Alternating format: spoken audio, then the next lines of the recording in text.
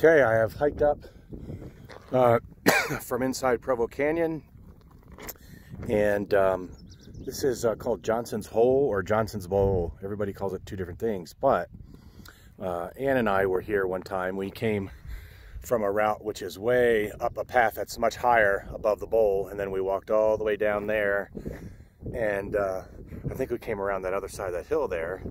But it's uh, early morning, sun is just barely starting to poke over, and uh, I'm going to walk down into the bowl for the first time today. It's just a wide open space. It's just absolutely phenomenal. Both Ann and I say it makes us think of like Ireland or something. It's just, um, the first time we saw it was from the other direction and the lighting was just amazing. Oh, it's still beautiful here as well. But um, I'm gonna go down into it and just kind of explore around.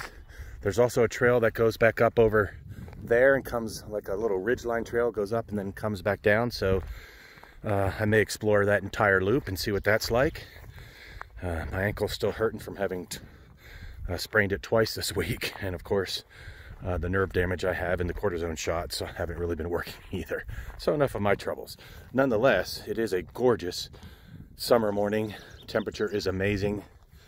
I'll show you that mountain in the background there. That's uh, part of Mount Temp Let's see if I can zoom in. Yeah, that's the south side. And uh, zoom back out. All right.